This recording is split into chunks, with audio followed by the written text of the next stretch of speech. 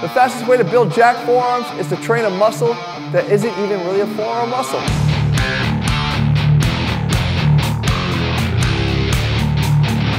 It goes up and it crosses the elbow and it inserts up here on your humerus. And then it comes all the way down and it kind of dies off right where it looks like it does in that mid belly